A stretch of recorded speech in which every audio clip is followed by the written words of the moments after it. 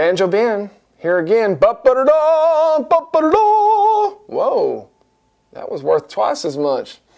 How are y'all doing, son? We've got a hot lesson for you today. You guitar pickers out there are going to love this. Have you ever learned Old Joe Clark? Well, if you have, you might want to throw away your old version because I've got a new one for you. This is hot. It's hot off the presses. I just wrote it this week. I've been playing the song for a long time, but realized I never really sat down and wrote an advanced version to this. So um, lick your chops and uh, see what you think about this one.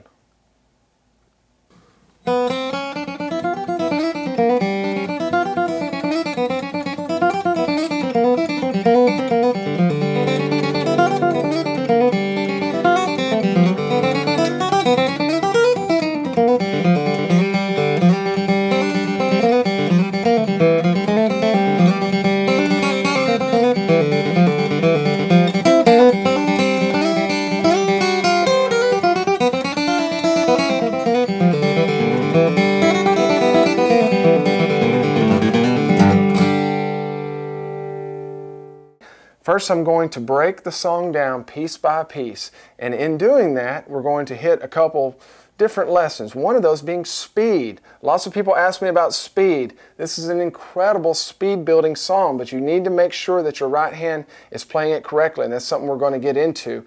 Also, your, some, a lot of your left hand ornaments are really present in this song. Your slides are very present, pull offs. We need to make sure and get those things right uh, so that you can sound like a pro. And so as we learn this song, we're going to be getting into all of that. Then at the end of this video lesson series, I'm going to play three different speeds of backup guitar so that you uh, Gold Pick members at banjobenclark.com can have those to practice along with. You can have somebody real to play with, which is really cool. Today we're playing the song in G. It's normally played in A, but I know a lot of you out there don't have capos, okay? So we need to get you one, but um, you can get one of those nice Elliott capos that I've got. Check them out. They're the best. Phil Elliott down in Texas hand makes those.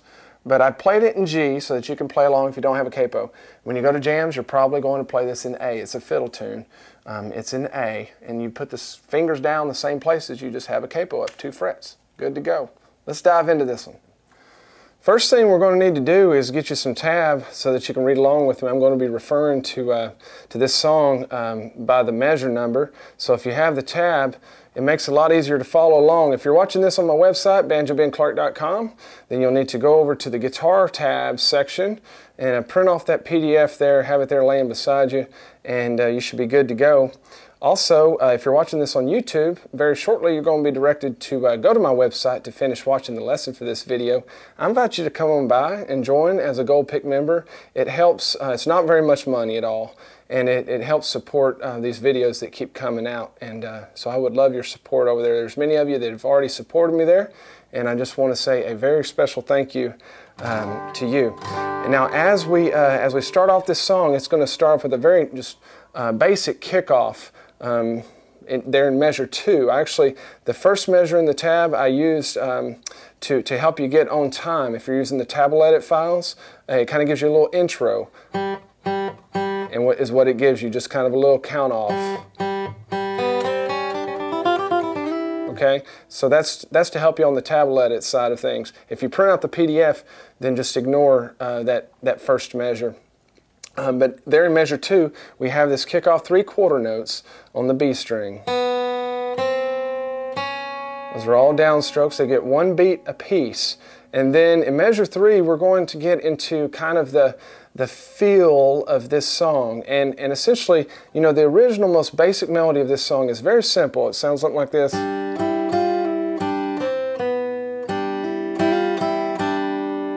So we've taken the liberty to add a lot of notes in between there. And the way that I've done it um, is called chromatic. It's chromatic improvisation, okay? So what chromatic means is we get a lot of things accomplished by just playing um, a half step apart. Okay, so instead of running our whole steps, which would be in the scale, we're going to instead run up the scale chromatically using every fret.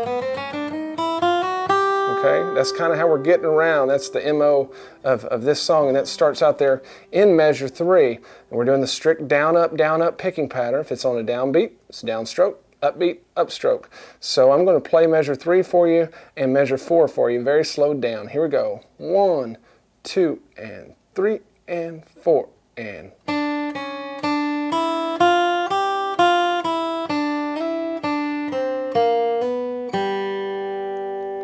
Pretty straightforward there. We've got um, a lot of picking in a row, and that's why I was talking about building speed with this song. This is really going to be a right hand workout. And we see that there in measure three. They're all picked. There's not any hammer-ons or slides or anything. Okay, down, up, down, up, down, up, down, up. What we need to make sure there is that it's our wrist that's moving, okay? Not our arm. We don't want this kind of jazz going on. We want this kind of jazz going on and maybe a little bit of thumb like Sir Tony uses, okay? Um, but we want, we want to have more of this plane going on, not this kind of disjointed uh, action because what that's going to do is start building tension up here in your shoulder and you're going to feel your bicep flexed and that's, a, that's an enemy of speed, okay? And we'll get into more of that uh, later in, in detail, but I just wanted to touch on that right quick. Measure three. Now when we get to uh, measure four, we're going to use our ring finger to slide from that third to fifth fret Okay, that's going to put us in what I like to call our really our second position. Uh, some may, some people may call it a third position because we're on the third fret there.